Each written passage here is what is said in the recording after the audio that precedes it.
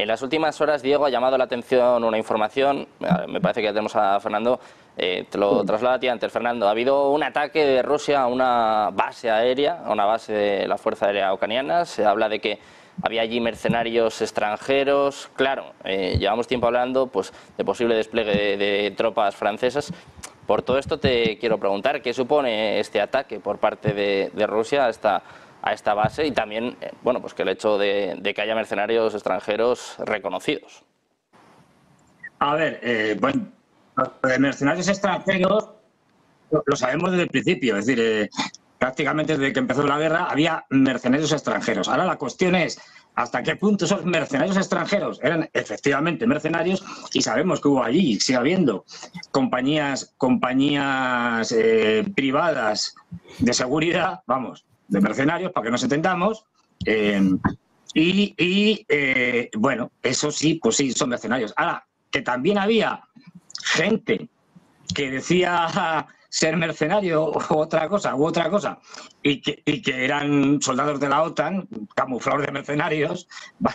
Eso lo dijo, me acuerdo, un, teniente coronel austriaco, como ahora Austria no está en la OTAN, se pueden permitir ciertas licencias, ¿no? Y lo dijo hace mucho, dijo el año pasado. Es decir, em, dijo, no, no, pues a ver, eh, todo el mundo sabe esto. Em, que lo que hacemos es, pues mira, una serie de soldados firman eh, como si hubieran renunciado al ejército y a partir de ahí se van, siguiendo de verdad eh, siendo soldados, pero bueno, eh, se van a, Ucrania a manejar armamento sobre todo muy sofisticado, porque no nos engañemos, es decir, a los, a los ucranianos que vienen además de un, de un armamento de, tipo soviético, como les pongas a, manejar armamento muy complejo, muy sofisticado, occidental, en un mes, en dos meses, no les, ni en tres, les enseñas, ni a los ucranianos ni a nadie. Quiero decir, esto es algo normal.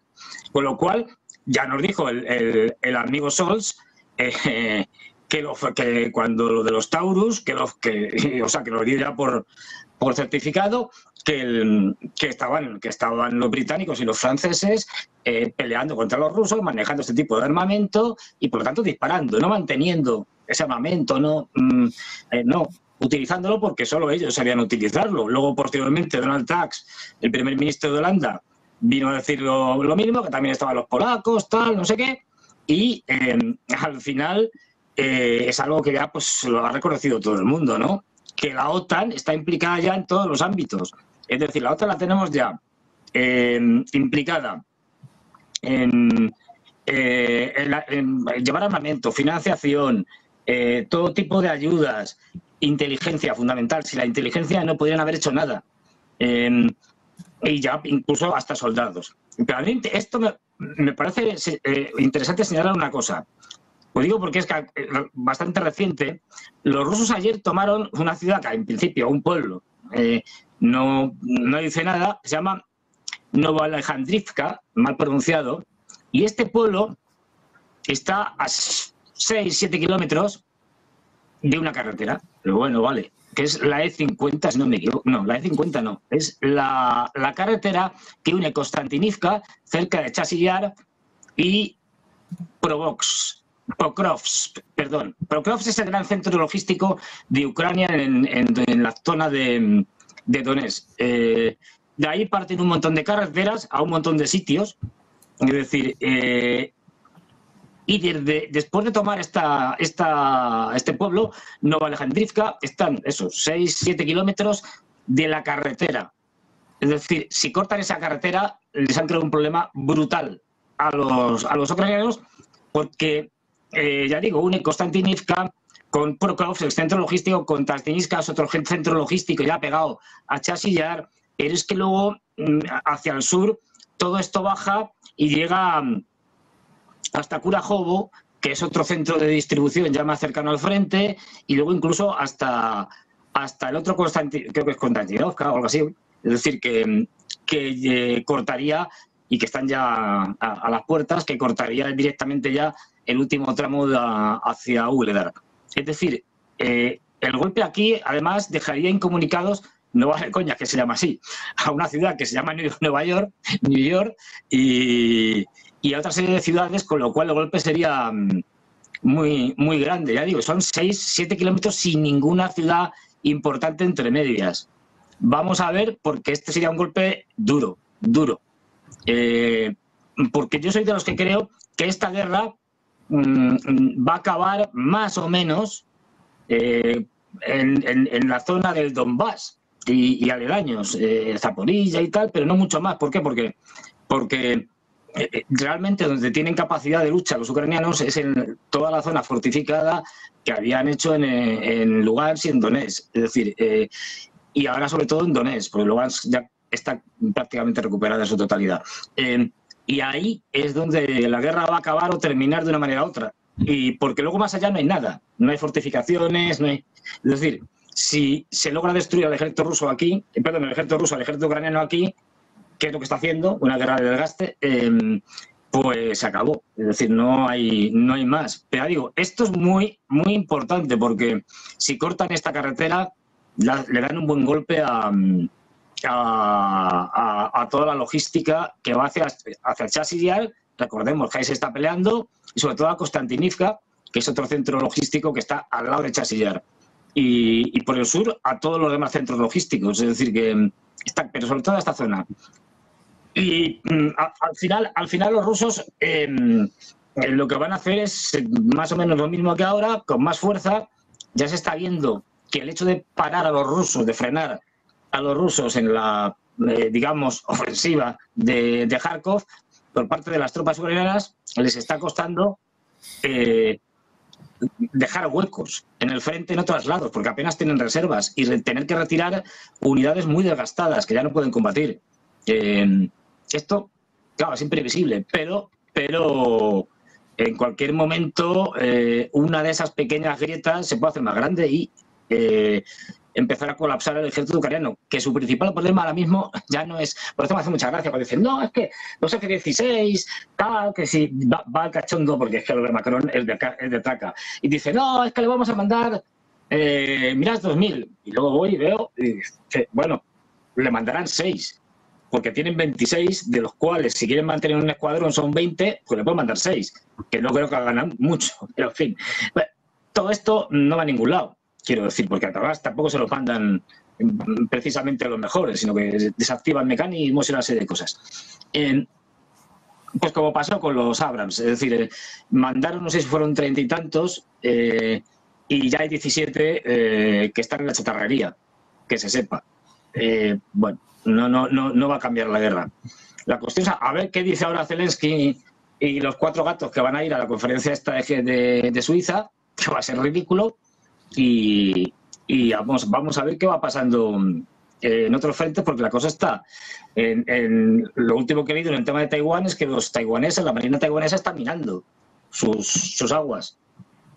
bueno, Arabia Saudí acaba de terminar justo el plazo de 50 años, una cosa así, eh, en el cual se establecía el petrodólar como, como eh, bueno, el dólar, mejor dicho, como, moneda de intercambio y de compra eh, con, el, con el petróleo, que ahora mismo están corriendo los norteamericanos para hacer un acuerdo mm, de lo que sea, porque ha vencido y los saudíes no lo han renovado. ¿Esto quiere decir que van los saudíes a dejar de vender en dólares? No.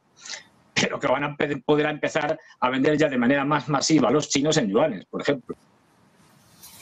Bueno, pues así está la cosa. A nivel geopolítico es importante una de las cosas que estaba comentando Fernando, ¿no? El hecho de cómo se está involucrando la OTAN en este conflicto, sobre todo si nos atenemos a las palabras, eh, pues por ejemplo, que ha emitido hoy el propio Stoltenberg. Ayer también decía bueno, pues que la OTAN quiere ayudar a Ucrania, pero no quiere ser parte del conflicto. Claro, es un mensaje que ha reiterado en muchas ocasiones Diego, pero que cada vez parece más complicado, ¿no? Parece algo inevitable si es que la OTAN no forma ya parte directa del conflicto, no solo ahora, sino desde el principio casi.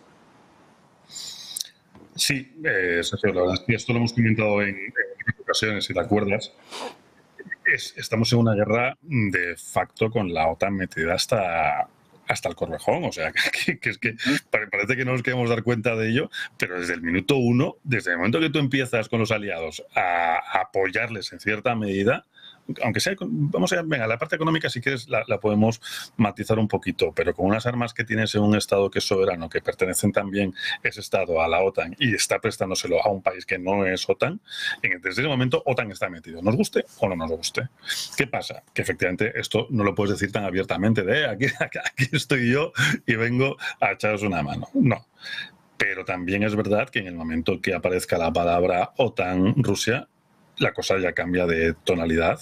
Nos metemos en un, en un problema no serio, muy, muy serio, pero hasta unos niveles que a ningún europeo nos apetece meternos, creo. Y desde luego, eh, yo creo que ahora mismo están contenidos en ese sentido, por eso quizás Macron dentro de estas iluminaciones que tiene, pues dice, bueno, pues venga, en vez de ir con OTAN, voy yo Francia o voy yo con el que se venga conmigo, venga, seguidme. ¿eh? Un poco en plan, pero claro, ¿qué, vas? ¿Con el ejército de Pancho Villa? No, perdona, no, no puedes ir eh, eh, con, pues como decía antes Fernando, ¿no? Con con seis aviones, cuatro tanques y, cinco carromatos tirados por burros, ¿no? ¿no? Tienes que llevar un armamento que esté más que, más que eh, preparado para poder afrontar un conflicto de estas características. Pero sobre todo ya fuera del contexto más o menos bélico, más o menos estratégico, es, es un conflicto de, de, nombres, ¿no? Nombres como, pues, como has comentado antes, ¿no? OTAN, es que suena muy fuerte, y un enfrentamiento OTAN eh, Rusia, Rusia y ya, digamos que le vamos a dar legitimidad, entre comillas, para que llame a sus amigos. Y sus amigos no son cuatro eh, países desestructurados, tienen amigos muy fuertes y muy potentes. Y le estás dando la excusa perfecta para que monte un festival, vamos, como hemos visto en la vida en este planeta. Entonces yo creo que en ese sentido OTAN debería estar un poco más contenido. Países miembros de la OTAN, como he comentado en alguna otra ocasión, como Francia, deberían morderse un poquito la lengua, porque es que no puedes medir las fuerzas que ahora mismo, eh, eh, o, los efectivos, ni efectivos ni medios que tenemos ahora mismo en Europa con los que tiene Rusia, perdona, pero es que estás equivocando mucho. Eh, aquí, vuelvo a insistir, no le faltan cartuchos, no le falta armamento, no le faltan hombres, no le falta información, no le faltan aliados fuera. O sea, si, dijeras que están ahí metiditos en plan Asterix y Obelix, apartados del mundo, mal, mal, porque no deja de ser una guerra, mal. Pero cuando sabes que tienen, además, posiciones estratégicas a nivel internacional, o sea, es que, oye, perdona, pero Venezuela no está en un sitio que diga, va, está ahí, perdona, Venezuela está en una posición importantísima dentro de lo que es la geoestrategia eh, militar a nivel mundial. Tienes a Cuba también, que lo tienes en una posición eh, increíble. China no sé hasta qué punto se metería en este conflicto, pero claro, es que lo, vuelvo a insistir, le estás dando argumentos a Vladimir Putin para decir, oye, que esto ya ha pasado de castaño oscuro. Esto era una cosa entre amigos y ahora ya es una cosa entre bandas. Valga el símil, por favor, no, lo quiero, no quiero que esto sea en plan mafia, pero valga el símil en plan de, oye, em, es que ya no están atacándome, ya no es una cosa entre, entre Pepe y Antonio, es una cosa entre la banda de Pepe y la banda, la banda de Antonio. Entonces, en ese sentido, yo, yo creo que le estaríamos dando vamos, una eh, patente de corso total para, para, que pudiera hacer y deshacer lo que quisiera con los aliados en cualquier parte del planeta. Pues a ver qué pasa con, con la OTAN, pendientes también de las nuevas ocurrencias de Stoltenberg, de, de Macron, eh, Ezequiel, por eso te, te, quiero preguntar, ¿cómo está el conflicto en Ucrania? Donde, por cierto, hoy ha habido ataques masivos en, en Kiev. O sea, parece que el conflicto queda a un lado, ¿no? Sobre todo con todas estas noticias, pero como bien está explicando antes Fernando, ¿no? Vemos nuevos avances por parte de Rusia y siguen los ataques tanto por parte de Rusia como por parte de Ucrania. Sí, bueno, eh, yo no presencio mm, modificaciones significativas en el frente de batalla. La situación aparece más o menos similar a las últimas semanas o quizás incluso a los últimos meses, más allá de la ayuda adicional posterior a em, eh, la aprobación del paquete de ayuda de 61 mil millones de dólares, de los cuales en realidad solo 14 mil desembarcaron en eh, Ucrania. Sí aparecen elementos eh, específicos como ataques en territorio ruso con armas occidentales, Em, por ejemplo, por primera vez desde un avión, a partir de la autorización de Estados Unidos y otros países europeos a este tipo de ataques, pero en lo cotidiano Rusia realiza avances eh, pequeños pero constantes en el marco de una guerra eh, de, desgaste y efectivamente la guerra presenta la forma de, no recuerdo quién lo presentaba de ustedes dos recién así, la forma de un dique de contención de agua con agujeritos en el cual Ucrania de alguna manera quiere responder tapando uno y cuando aparece ese tapado, entonces aparece uno nuevo y así Rusia va realizando, pequeños avances. La novedad quizás sí la presencia en... Un creciente cambio de em, ánimo, em, o por lo menos un, un, cambio en el clima político europeo, no em, de las élites, pero sí de los, eh, no, no, no de las clases dirigentes, pero sí en la ciudadanía y en los electores a partir de eh, bueno, los, dos, los mm, ya tres años de o camino a tres años de guerra y las elecciones europeas la semana pasada.